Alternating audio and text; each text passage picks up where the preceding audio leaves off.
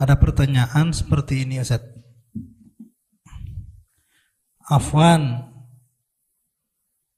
sebenarnya apa salahnya jika kita menyukai artis Korea dan kenapa hanya artis Korea? Bagaimana dengan artis Jepang, Amerika, India, dan negara-negara yang lain? Syukran Ustaz. Maunya apa? Maunya ya semuanya dilarang atau semua dibolehkan? ya. Kenapa kita bicara Korea? Karena itu yang sedang ramai, benar nggak? Atau ada yang kagum-kagum dengan Jepang? Atau dengan Amerika? Pada prinsipnya, kagum dengan artis kafir. Yang kecintaan itu pasti punya misi. Bukankah film-film Korea atau film-film kafir itu semuanya? Larinya kepada mengumbar syahwat,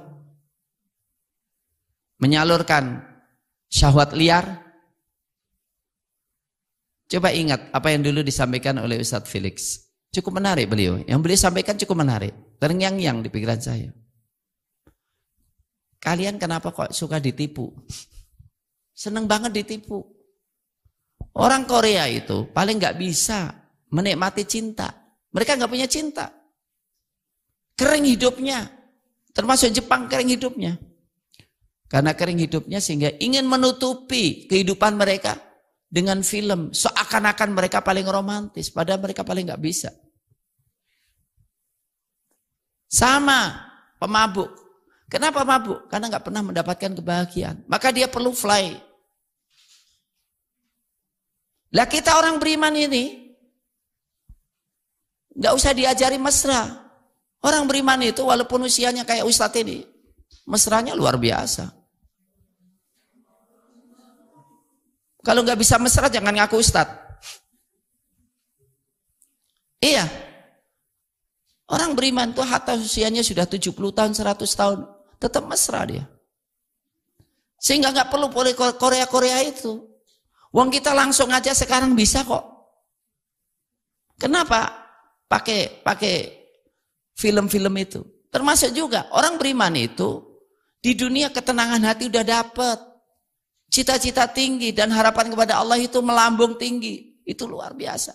Lah karena orang-orang kafir itu nggak pernah bahagia, maka dia ingin bahagia di dunia maya. Maka dia mabuk-mabuk. Kalau orang beriman enggak. Di dunia dapat, di akhirat dapat. Bahagia itu. Maka di akhirat dia dapat khomer dia. Tapi khomer yang nggak mabukkan. Kenapa? Kenikmatan di akhirat itu kan real sehingga nggak perlu mabuk lagi.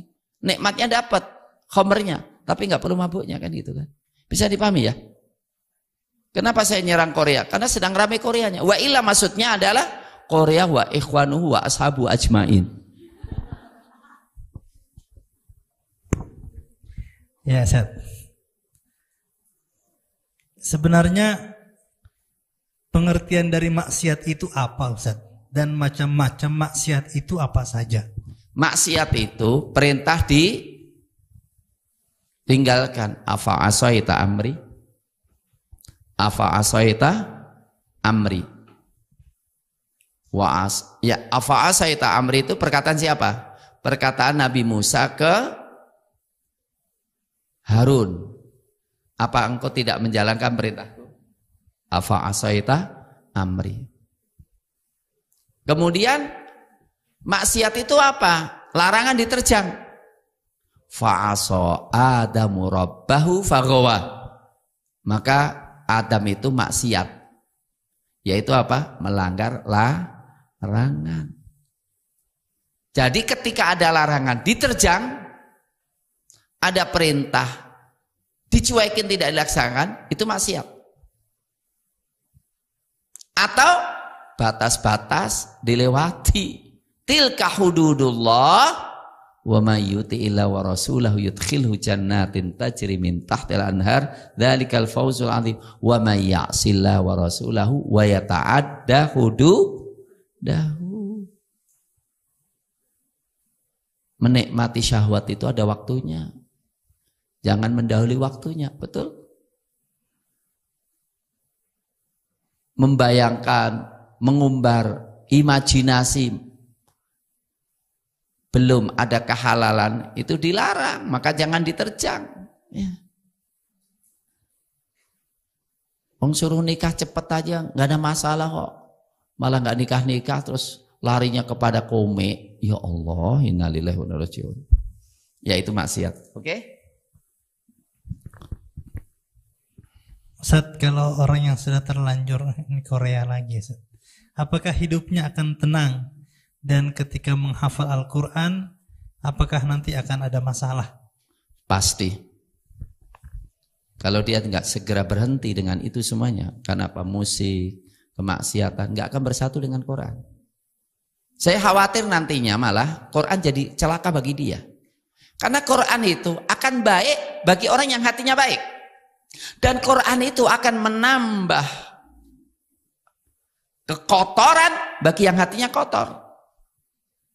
Wa idza ma unzilat suratun Wa idza ma unzilat suratun faminhum may yaqulu ayyukum zadatu hadhihi iman. Fa ammal ladzina amanu fazadathum imana.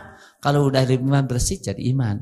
Wa ammal ladzina fi qulubihim maradun fazadatum rijsan ila reja sim kalau hatinya kotor malah Quran tambah kotor tambah kotor tambah kotor. Hati-hati ya. Quran itu baiknya harus hatinya bersih. Banyak tobat kepada Allah Subhanahu wa taala. Saya bukan membenci tapi saya teriris-iris hati saya. Kalau di antara santri saya ada yang terkagum-kagum dengan film itu.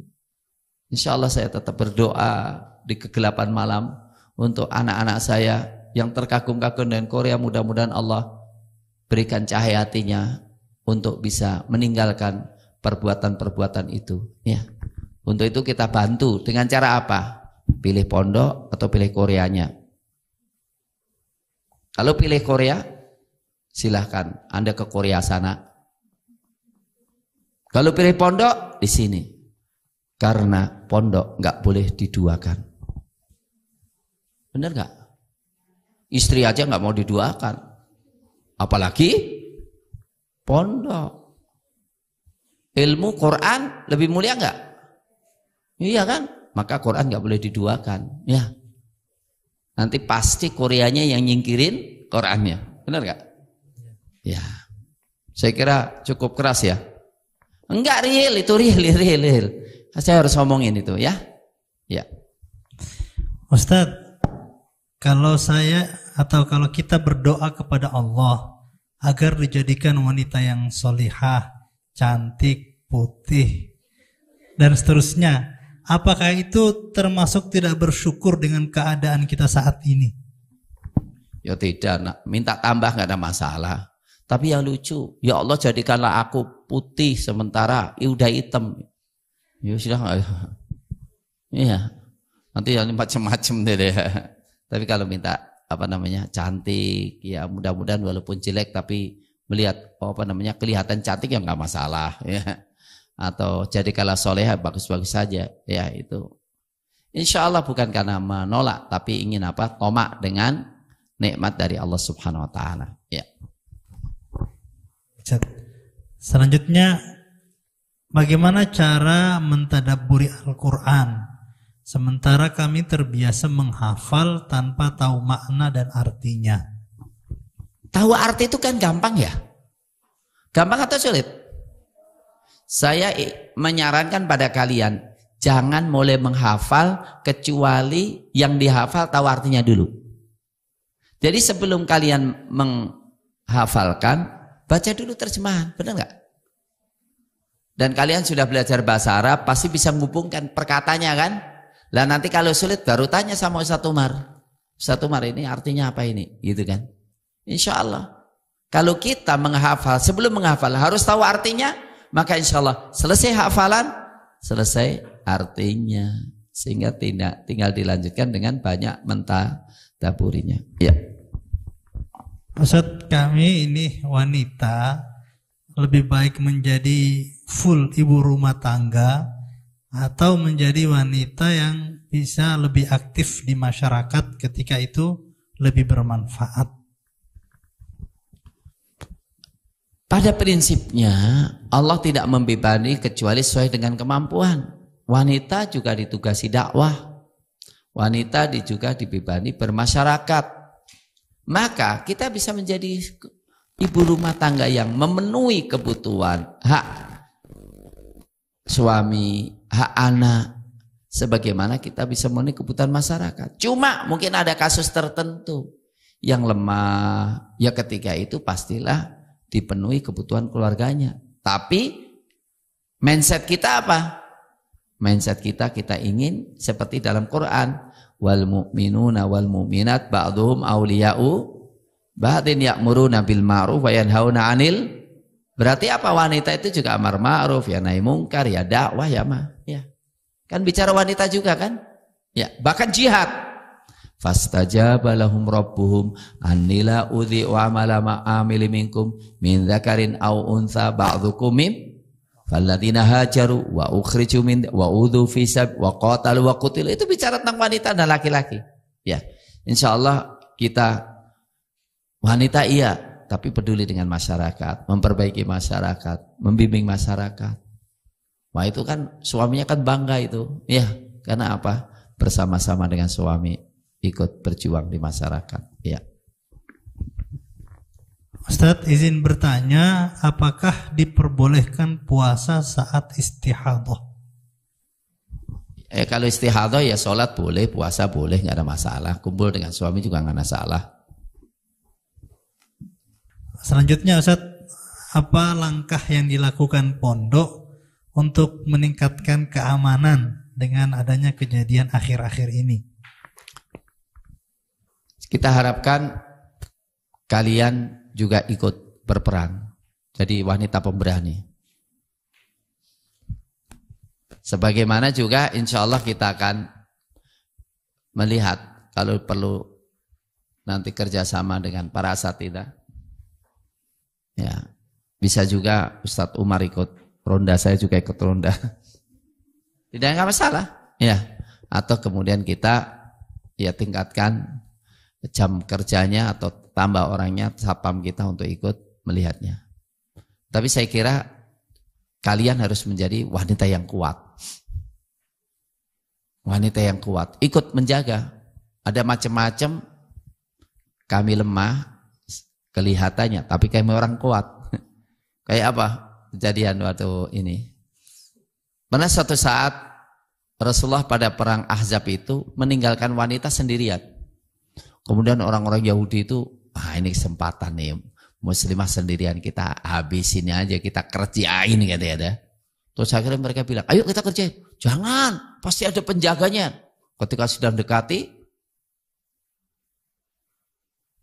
wanita bilang siapa yang menghadapi mereka? Yang menghadapi siapa? Sofia Sofia usianya 60 tahun lihat dari jauh ada item-item bayangan hitam-hitam gimana ini maka ngambil balok gede itu.